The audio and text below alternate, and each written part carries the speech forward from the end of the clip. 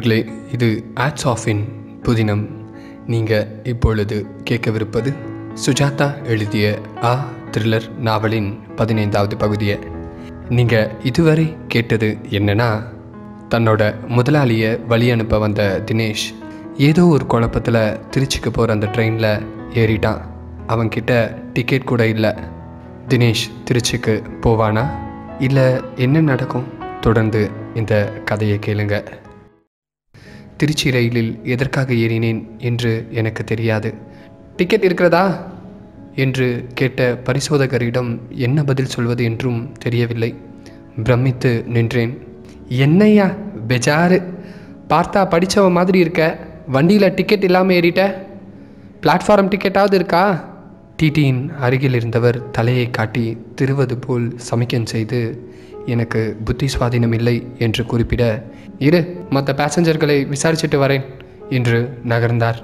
அது மூணு அடுக்கு தூக்கப்பெட்டி. சிலர் பிஸ்லரி பாட்டில்களில் நீர் நிரப்பி வைத்துக்கொண்டு பொட்டலங்களை திறந்து கொண்டு சாப்பாட்டுக்கு ஆயத்தம் பண்ணி கொண்டிருந்தார்கள். எனக்கு முன்னே ஏதோ ஒரு கம்பார்ட்மெண்ட்டில் ஜெயலட்சுமி இருக்கிறாள் என்கிற எண்ணம் ஒன்றுதான் என் மனதில் இருந்தது. டிக்கெட் இல்லாததோ திருச்சி செல்வதோ எதுவும் புனிதமாகப்படவில்லை. பையில் கிரெடிட் கார்டும் முப்பது ரூபாயும் சில்லறையும் இருந்தது போதாது. வண்டி அதிக சத்தம் போட்டுக்கொண்டு சென்றது. அருகில் ஒரு மின்சார ரயில் போட்டி போட்டுக்கொண்டு ஓடி வென்று தோற்று விலகி நின்றது. எங்கள் வண்டி இன்னும் சூடு பிடித்து வேகம் எடுக்க சென்னை நகரின் அரிப்பு மருந்து தையல் பள்ளி விளம்பரங்கள் சுவரில் கடந்தன. வண்டி பல்லை நரநரவென்று கடிப்பது போல் ஓசைப்படுத்தி சென்றது. நான் வண்டியை விட்டு தாவி அடுத்த பெட்டிக்கு செல்லும் உத்தேசத்துடன் கதவை திறக்க டிக்கெட் பரிசோதகர் என் காலரை பிடித்தார். எத்தனை காசு வச்சிருக்க? முப்பது. கிரெடிட் கார்டு இருக்கு. அதை முன்னும் பின்னும் புரட்டி பார்த்து இது ரயில்வேல செல்லாது என்றார் டிடி எனக்கு தெரிஞ்சவங்க இந்த வண்டியில் வராங்க. அவங்க கிட்ட காசு வாங்கி கொடுத்துடுறேன். எனக்கு திருச்சிக்கு போயே ஆகணும். எங்கே இருக்காங்க அங்கே? ஏசி கம்பார்ட்மெண்ட்டில் பொய் சொல்கிறான் ஆர்பிஎஃப்பில் ஹேண்ட் ஓவர் செய்திருங்க என்றார் அருகில் இருந்தவர். முப்பது ரூபாய் வாங்கிட்டு அடுத்த ஸ்டேஷனில் இறக்கி விட்டுருங்க. இருப்பு பாதையில் வேலைக்காரர்கள் எச்சரிக்கை போட்டிருந்த இடத்தில் வண்டி மிக மெல்ல பத்து கிலோமீட்டருக்கும் குறைவாக சென்று ஒரு கணம் நின்றபோது என்னை ரயிலிலிருந்து உதிர்த்து விட்டார்கள். போ உங்கள் அப்பன் வீட்டு ரயில்வே இல்லை இது நான் நடந்தேன். சரளை கற்களை விட்டு களிமண் வரப்பில் நடந்து சாலைக்கு வந்தேன். ஒரு லாரியில் லிஃப்ட் வாங்கி கொண்டு நகரை அடைந்தேன். மறுநாள் கனரா பேங்கை தேடி போய் என் கிரெடிட் கார்டில் ரூபாய் ஆயிரம் மாற்றிக்கொண்டேன் இந்த விவரங்கள் எல்லாம் எதற்கு உங்களுக்கு தருகிறேன் என்றால் மனம் இன்னும் முழுதும் சிதையவில்லை என்பதை காட்டவே. ஏதோ ஒரு சக்தி என்னை திருச்சி நோக்கி வினோதமாக அழைத்தாலும் அதற்கான ஆயத்தங்களில் நடைமுறை பழக்க வழக்கங்களில் வினோதம் எதுவும் இல்லை ஆனால் திருச்சிக்கு செல்வது என்பது எனக்கு அசைக்க முடியாத தீர்மானமாகிவிட்டது. மறுநாள் அதே ராக்ஃபோர்ட்டில் திருச்சி சென்று ஜங்ஷனில் இறங்கி நின்று காஃபி சாப்பிட்டேன். வெளியே வந்தபோது சைக்கிள் ரிக்ஷாக்காரர் எங்கே போகணுங்க? சிந்தாமணி என்றேன். அவர் என்னை ஏற இறங்க பார்த்து சிந்தாமணி ரொம்ப தூரங்க. ஆட்டோவில் போயிடலாம் இல்லை ஸ்ரீரங்கம் போகிற ஒன்றாம் நம்பர் பஸ்ஸை பிடிச்சி கரூர் டர்னிங்கில் இறங்கிட்டு நான் ஆட்டோவில் உட்கார்ந்து கொண்டு சிந்தாமணி என்றேன். சிந்தாமணியில் எங்கே? பள்ளிக்கூடம்.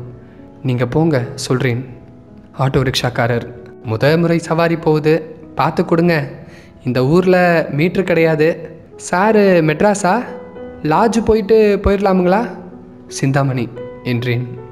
சிந்தாமணிங்கிறது பெரிய இடங்க. எங்கிட்டு போகணும்னு சொன்னீங்கன்னா விசாரிச்சுட்டு பள்ளிக்கூடம் ஈஆர் ஹைஸ்கூலுங்களா?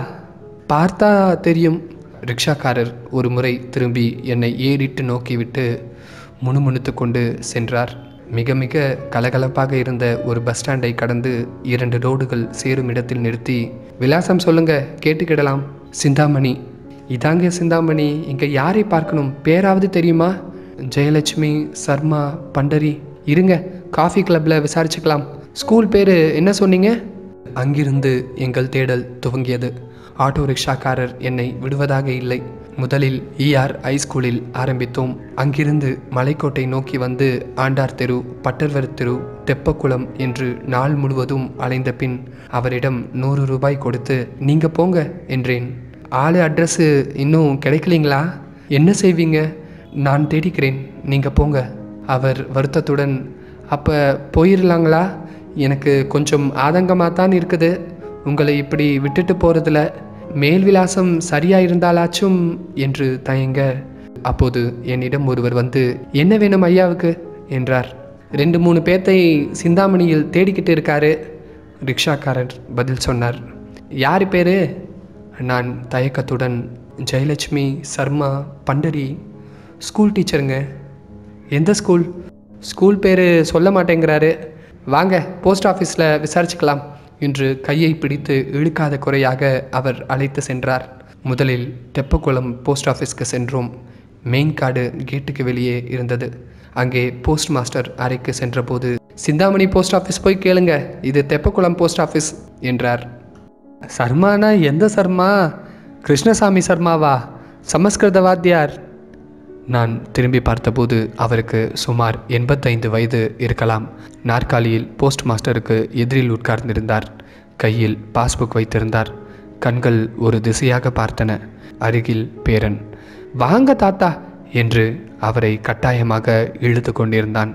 இவரிடம் ஒருவேளை அடையாளம் கிடைக்குமோ? என்று சார் எனக்கு சிந்தாமணியில் ஏதோ ஸ்கூல் சர்மா ஜெயலட்சுமி பண்டரி கோபாலன் இந்த மாதிரி பெயர்கள் தான் தெரியும் இத்தனை பெரிய ஊரில்? எனக்கு தெரிஞ்ச ஒருத்தர் சர்மானு சமஸ்கிருத பண்டிதரை பற்றி சொல்வார். ஜெயலட்சுமி a டீச்சர் ஆமாம் என்றேன் அவளுடன். அவ செத்து போயிட்டா இல்லையோ? தாத்தா சந்தேகமாக கேட்க தெரியலை சார் என்றேன். நான் சொல்கிறது ஃபிஃப்டீஸில் அப்போது கேடி டாக்கீஸ்னு இருந்ததா சார்? இப்போ கூட இருக்கே. ஆமாம் அவர் பேர் கோபால் சர்மாவா? சர்மா மட்டும்தான் தெரியும். சர்மான்னு ஒருத்தர் டென்னிஸ் கூட தான் ஆடுவார். தாத்தாவும் பேரனும் பஸ் ஏற நானும் அதே பஸ்ஸில் ஏறிக்கொண்டு அருகில் உட்கார்ந்தேன்.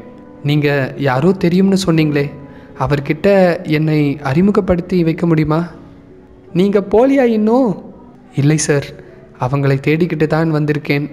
நான் சொல்கிற பேர் வழிகளெல்லாம் தே ஆர் ஆல் டெட் அவங்களை தான் தேடி வந்திருக்கேன். ஏதாவது சொத்து கித்து இல்லை சார் திஸ் சர்மா அவருக்கு நிறைய சொத்து இருந்தது.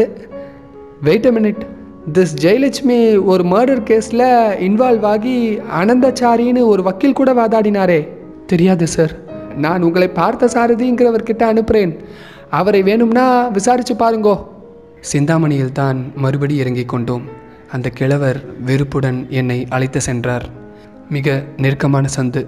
அதன் முனையில் முரளி குளிர்பானம் வீடியோ கேசட் லைப்ரரி என்று போர்டு எழுதி வெயிலில் காய போட்டிருந்தார்கள். புகைக்கரை படிந்த சின்ன ஜன்னல்கள் சுருளோட்டு வீடுகள் எருமை மாடுகள் படுத்திருக்கும் சந்து. அவை அடைத்து மிச்சமிருந்த பாதையில் ஸ்கூட்டர்களும் சைக்கிள்களும் நடக்க ஒரு கிரிக்கெட் மேட்ச் வேறு நடந்து கொண்டிருந்தது. யாரு? பார்த்தசாரதி மாமா. தாத்தா இவரை உங்ககிட்ட அனுப்பிச்சார். கிராம ஃபோன் ரிப்பேரா இல்லை சார் என்றேன். என்ன வேணும்? யாரு? சார் சர்மா ஜெயலட்சுமி பண்டரி இவங்களை தேடி விசாரிச்சுக்கிட்டு நான் வந்திருக்கேன். அவர் என்னை நிதானமாக பார்த்தார். உன்னைத்தான் எதிர்பார்த்தேன்.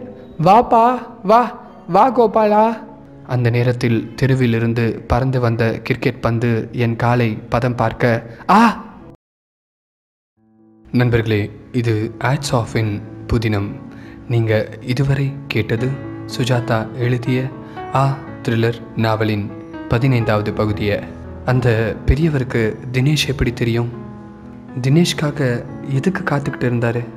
சரி தினேஷை ஏன் அவர் கோபாலன்னு கூப்பிடுறாரு?